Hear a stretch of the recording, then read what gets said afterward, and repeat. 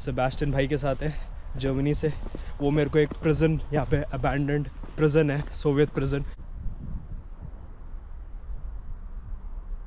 Yeah, yeah. And you see all these cameras up here in the corner?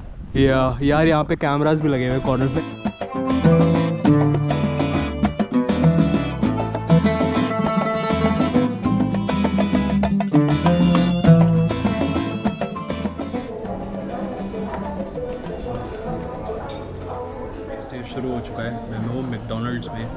और यार मैं दिखाना चाहता हूँ कितना एक्सपेंसिव है एस्टोनिया ये मील मेरे को पड़ा करीबन चार यूरो का। चार यूरो का अपने करीबन तीन सौ बीस रुपये तीन सौ तीस रुपये एस्टोनिया काफ़ी महँगा है भाई। यहाँ पे आपको मील पाँच दस यूरो से कम मिलेगा नहीं। और जो मिलेगा भी फिर उससे पेट नहीं भरेगा। ये खाते हैं भाई ये चिकन बर्गर है। यहाँ पे चिकन मिल जाता है। बीफ के भी ऑप्शन है मैं चिकन खा रहा हूँ। और ये फ्राइज़ हैं और एक कॉफ़ी है। बढ़िया है, खाते हैं। यार, क्या प्रूफ है कि मैं दस दिन से यूरोप में घूम रहा हूँ और मैं आधा यूरोपियन नहीं बन चुका हूँ? उसका प्रूफ ये है। खाली है, ऐसी शोबाजी के लिए कर रहा था मैं। हरकतें। क्या करे भाई, अकेले होते तो अपने आप को एंटरटेन करना पड़ता है। ये था भाई मैकडोनल्ड्स अपना दूसरा खाने का आल्य। अब यार, अनिरुद्ध भाई थे ना जो मेरे को कल मिले थे, उन्होंने मेरे को एक अबैंडन सोवियत प्लेस बताई है। तो मस्त है, वहाँ पे जाके एक्सप्लोर करेंगे और शायद उनसे भी मिलेंगे। यहाँ पे यूरोपियन सारे कॉफ़ी लेके घूमते रहते हैं। पता नहीं क्या दिखता है यार इनको। एक, दो, तीन यूरो की कॉफ़ी रोज़ पीते हैं। मस्त है यार, सही है। अपना नहीं है। अपनी तो गरम गरम मसाले वाली चाय मिल जाए, अभी मज़े आ जाए। यार यहाँ पे गुलदस्ते बिकते हैं। महँगे महँगे तीन तीन, चार चार यूरो के। यार, वैसे अपने इंडिया में भी फ्लावर्स महँगे ही हैं, यहाँ पे तो तब भी सस्ते मिल रहे हैं। आई थिंक लेकिन ये एक होगा, डेढ़ यूरो का। अगर पूरा गुलदस्ता है तो सस्ता है, एक है तो बहुत महँगा है। भाई, ये पुरानी वाली जो ट्रैम है ना, वो है। यहाँ पे पुरानी ट्रैम है और नई ट्रैम भी है। ये वाली पुरानी चलती है। ये बहुत टाइम से आई थिंक ये ये बहुत सालों से होगी, पंद्रह बीस साल से होगी। सोवियत टाइम से है कि नहीं, पता नहीं बट ये काफ़ी पुरानी ट्रैम है यहाँ पे। यहाँ पे नई वाली भी है। और ये पुरानी वाली भी चलती है। भाई यहाँ पे शायद इनकी फ़ुटबॉल प्रैक्टिस चल रही है। भाई फ़ुटबॉल तो पूरे यूरोप में ही पॉपुलर है और अभी फ़ुटबॉल के मैचेस भी चल रहे हैं। ये क्या है भाई? भाई इसके ऊपर भी जा पाते ना। बड़े मज़े आते हैं ऊपर से व्यू अच्छा दिखता। बट मेरे को नहीं लगता कि जा सकते हैं। ये कुछ चिमनी विमनी टाइप लग रही है। मेरे को एक्चुअली पता नहीं है कि क्या है।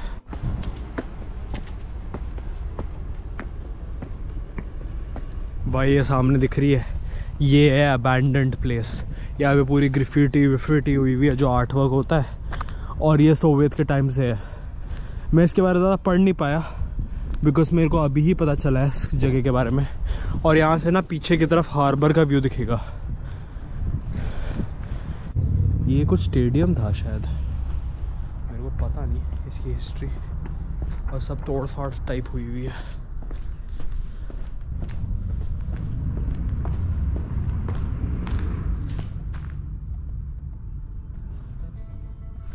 आज तो मैं भी बैंक बन जाता हूँ। एक व्लॉग के लिए।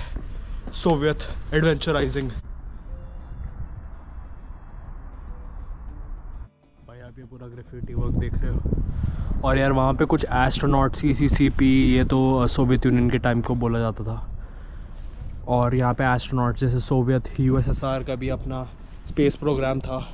आपको पता होगा, एक एस्ट्रोनॉट था यूरी गगारियन और अ, यार अ, उस टाइम पे माना जाता है कि जो यूएस में जो नासा था या उस टाइम पे नासा था कि नहीं था याद नहीं बट यूएस ने अ, चाँद पे जो बंदा भेजा था उसके बारे में भी कंट्रोवर्सी है कि एक्चुअली भेजा था कि नहीं भेजा था बिकॉज़ काफ़ी लोग कहते हैं कि that was done to bank the Soviet Union कि भाई अ, रशिया या उस टाइम पे सोवियत यूनियन इसको कॉपी करे और अपने एस्ट्रोनॉट को भेजे मून पे और वो सक्सेसफुल हो नहीं पाए तो फिर उसमें सारा पैसा लग जाएगा सोवियत यूनियन का। ये काफ़ी लोग कहते हैं कितना सच है, कितना नहीं है, पता नहीं, जहाँ तक मेरे को पता चल रहा है। और वहाँ पे तो यार कुछ वियतनामीज़ या पता नहीं कैसा कुछ लग रहा है। ऊपर जाके देखते हैं हार्बर का व्यू यार, ये आप पूरा देख रहे हो सी ये पूरा इसको कहते हैं टालिन बे और यहाँ से दो घंटे की फेरी लेके जाओ ना आप तो आप हेलसिंकी पहुँच जाते हो। हेलसिंकी यहाँ से सिर्फ़ दो घंटे का रास्ता है। और यार, मैंने भी सोचा था कि फिनलैंड होकर आ जाते हैं एक दिन बट यार उसका क्या फ़ायदा होता? मेरे को एक कंट्री को एडजस्टेंस करना होता है। काफ़ी लोग क्या करते हैं कि दो तीन घंटे के लिए फिनलैंड हो आते हैं और मस्त वापस आ जाते हैं बिकॉज़ फिनलैंड बहुत महँगा है। तो मैंने सोचा, यार नहीं फिनलैंड जब जाएँगे तो पूरा करेंगे। या अलग से क्या दो तीन घंटे का ट्रिप मारे। बट यहाँ से आप फिनलैंड भी जा सकते हो। शायद पंद्रह या बीस यूरो की वन वे टिकट है और तीस चालीस यूरो में आप हेलसिंकी होके वापस आ सकते हो। प्रोवाइडेड आप पहले से बुक करो। बट यार, मेरे को ये ज़्यादा इंटरेस्टिंग लग रहा है अभी। ये पूरा ग्रेफिटी आर्ट वर्क हुआ हुआ है और पूरी जगह अबैंडेंड है। बट यहाँ पे काफ़ी लोग आए हुए हैं तो लोगों को पता होगा इस जगह के बारे में। तो यार यहाँ पे भाई मिले या brother you can introduce yourself Hi, my name is Sebastian. I'm from Germany. I'm also traveling Tallinn. Yeah? Yeah. And how do you like this place, Tallinn? It's it's kind of crazy. Like I know it's Uh-huh. an old opera house, Uh huh. um, but it's it's really crazy. I heard that there are some some rave parties at night. And rave parties here यहाँ पे Yeah, भाई कह रहे down- party down होती है Here, down here, I just was back there. हाँ भाई यहाँ से वॉक करके गए थे Yeah, and it seems like there were some parties down here. हाँ It's pretty cool. people probably come at night and you know drink and yeah, yeah, party they, here. they drink and party and yeah, have loud music. And I know that Yeah. some parts of this building got closed off because like Okay. they, they fell in a bit. Like They the- fell off- off of it. a bit. आ okay भाई कह रहे हैं कि यहाँ पे ना building crash हुई है और ये पुराना सोवियत ओपरा हाउस था Yep. जहाँ तक भाई बता रहे Yeah, that's what people Okay. told me. Yeah. alright and have you been to other places in Estonia or just Tallinn No, I, I just uh, visited Tallinn. Right Tallinn But I want and to go to some national parks, but I haven't managed to do so yet. yeah तो Sebastian भाई के साथ है Germany से वो मेरे को एक प्रिजन यहाँ पे अबैंडेंड प्रिजन है सोवियत प्रिजन जो you saw Bald and Bankrupt's video Yes, yes, I saw it. सब भाई बॉल्ड एंड बैंक ट्रप को जानते हैं। भाई भी ये कह रहे हैं कि यार यहाँ पे लोग ना काफ़ी रिजर्व्ड है।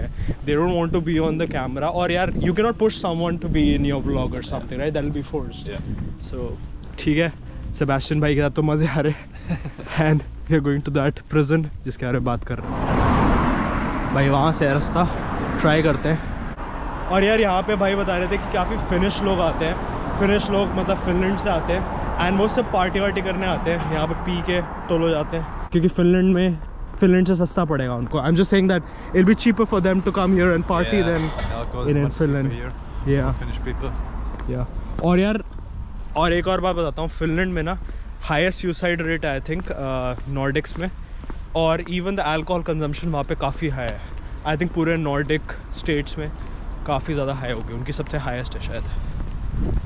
चलते हैं यहाँ से रास्ता है सबैस्टिन भाई ने बताया कि ये ना एक सोवियत टाइम से प्रजेंट था इसको पैथराय प्रजेंट कहते हैं और एक एग्जीबिशन भी लगी है जो यहाँ से साइड पे है तो देखते हैं और बॉल्डन बैंक जो था वो यहाँ से चढ़ के गया था ऊपर हम देखते हैं हम चढ़ पाएँगे कि नहीं And he was lucky to, you know, find that thing. He climbed up But right now it seems like everything. Nothing. Up, right? Yeah. Probably they saw the video and they were like Yeah, yeah. And you see all these cameras up here in the corner. yeah यार यहाँ पे cameras भी लगे हुए corners में yeah it was on the other corner yeah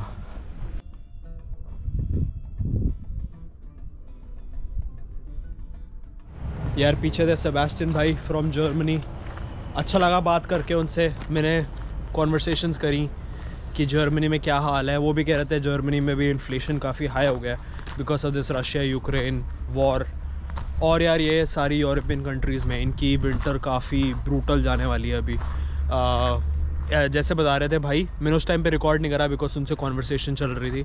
वो कह रहे थे जर्मनी में होता है वार्म रेंट और कोल्ड रेंट कोल्ड रेंट होता है बेसिकली कि जो आप देना ही देना होता है अकोमोडेशन का सिर्फ़। वार्म रेंट होता है जो सर्विसेज़ के लिए देना होता है, जैसे गैसिंग गैस हो गया वाईफाई हो गया इलेक्ट्रिसिटी हो गया।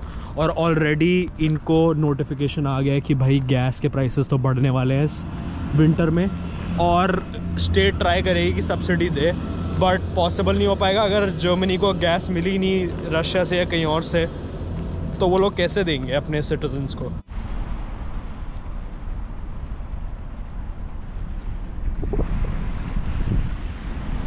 यार यहाँ पे हो गई ठंड, कड़ाके वाली। मतलब दिखा तो रहा है दस डिग्री बट ठंड ऐसी लग रही है जैसे चार पाँच डिग्री हो या उससे भी कम हो। और हवा हवा भाई यहाँ पे बहुत तेज़ है और यहाँ पे लोग फिशिंग कर रहे हैं। भाई यहाँ पे लोगों को ठंड नहीं लगती है, यहाँ पे इनके लिए नॉर्मल वेदर है। कुछ लोग तो आधी आधी हाफ़ स्लीव्स में भी घूम रहे हैं यहाँ पे। इनके लिए समर वाला वेदर है।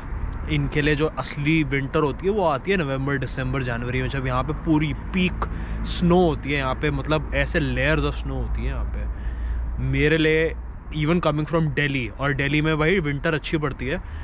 जो अभी वेदर है, वो दिसंबर जनवरी में होगा वेदर अपने इंडिया में और दिल्ली में।